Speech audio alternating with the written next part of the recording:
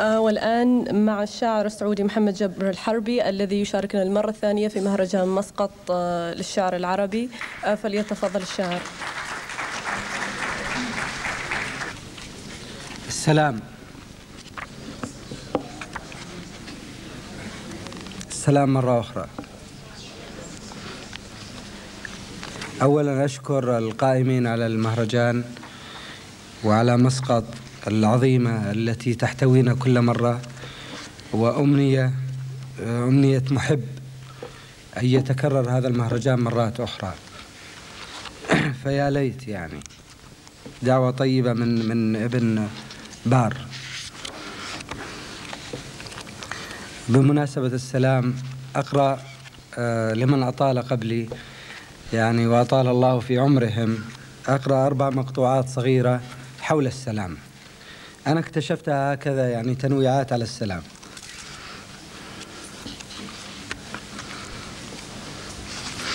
ملقا وعبلة لا تفارقني. لكأن رأسي خدرها ويدي أصابعها تزيل الليل عن عينين ناعستين أقرأ في سوادهما وأكتب حين أكتب دمعتين. خدرها وطن وعيناها يدان. مدن تعلمك الكتابة والحديث. مدن تعلمك الرهان وكيف تخسر في الرهان.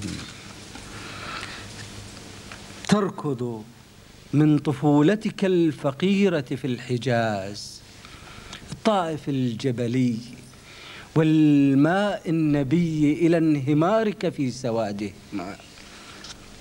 زمان غامض والجوع وديان من الحزن الحثيث لكن عبلة لكن عبلة لا تفرط بالحديث.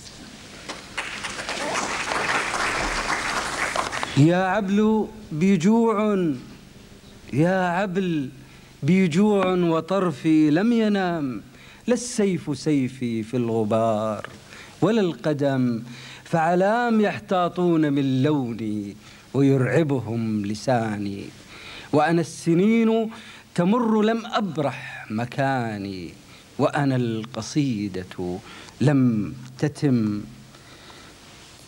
ملقا حذائي تحت رأسي والسماء خفيضة ولصيقة بفمي ودمي تعطل عن مجاراة الهواء ومعصمي سيف وسيف الله مات على السرير فمن يكفن أنجم سقطت ومن ذا شافع لخطيئة الأعراب من يؤوي الفجاءة في نهار طلق التاريخ دورته وتقاسم الأحزاب ثورته. فما من رقية لخطاي ما من رقية لخطى الصباح المظلم ملقا وأسندني البخاري فانتسبت لمسلمي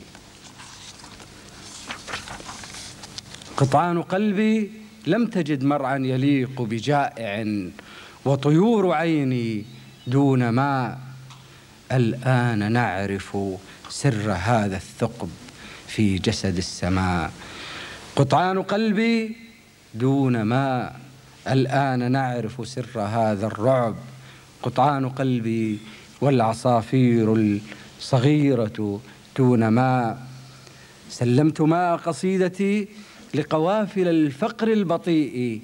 وكان أولها فمي يا دار عبلة بالجواء تكلمي وعمي صباحا دار عبلة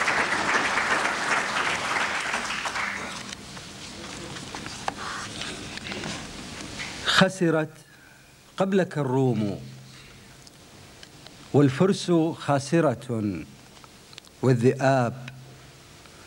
أي حزن تولاك؟ أي كساك؟ وأي خلعت عليه الثياب. ثم ما وحشة أيها الشنفر الذئب؟ ماذا الخطاب؟ السهام كتاب والسلام كتاب والقصائد من عهد آدم والماثلات الكعاب والكؤوس الشفاه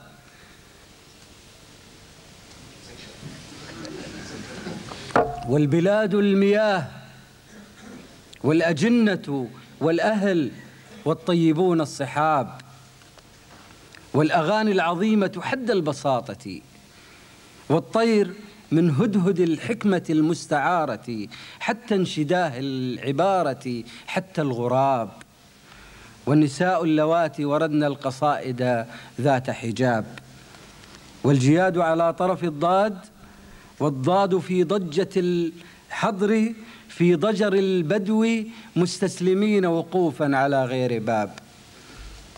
واتساع على ضيق ما يتجلى. وأنت على وحشة تتملى. فكيف على وحشة سوف تبدأ يا سيد العاشقين الكتاب؟ وكيف تقص على الحاضرين بحلمك عرف النجاب؟ وما الشعر ما حضرة الشاعر العذب في حضرات العذاب؟ وما الصمت؟ أتلك الحبال التي تتدلى أفاع أمن الجبال التي تتجلى رقاب؟ لمن هذه الحبل؟ ومن هذه المرأة العالقة؟ نشرت القصيدة ومكنت نفسي من كسرة الماء. إني اغتسلت جميعا وما ظل في جسدي من ظلام وما ظل باب على يده سابقا لماذا الحبال؟ لمن جثة الاكتئاب عذاب؟ وتعرف أن العذاب عذاب ولكن إلى أي قبر عظيم سيختتم الله هذا العذاب؟ لمن تطلق الشعر ما ظل من شجر يتماهى وما ظل من شرر يتباهى على غفلة عن جباه تراها وكنت تود بألا تراها لمن هذه الكأس؟ لمن هذه الرأس؟ وكيف يغني بحضرتها شاعر لا يثاب؟ لمن يكتب الآن؟ لمن يكتب الآن؟ لمن يكتب الآن؟ لن أكتب الآن عنك ولن أستفز الليالي وتعرف يا حابس الطير تعرف أن الليالي كلاب.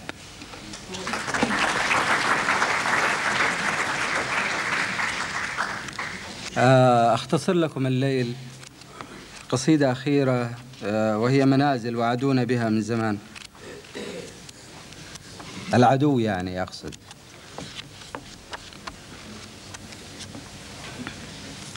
لنا الخيل لنا الخيل أعرافها والصهيل إذا مدلهم بنا ليلنا. لنا الخيل أعرافها والصهيل إذا مدلهم بنا ليلنا. وكنا ننام على طرف الرمل أوجعنا رملنا. وكنا على الرمل نرسم بيتا ودربا وحيدا وفي الظل نرسم ظلا لأحلامنا.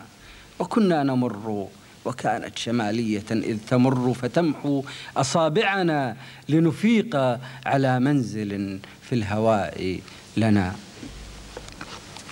لنا منزل في المقابر. أنبأنا سيد في السكون وأرشدنا الجوع للمائدة. قطعناه حتى الجدار الأخير. وجئناه بالمنطق المستدير وجئناه بالأحرف البائدة. لنا نزل غير أن الغراب يقاسمنا القبر والشاهدة لنا منزل في السماء امتطينا الرياح وقلنا وداعا لأسمالنا.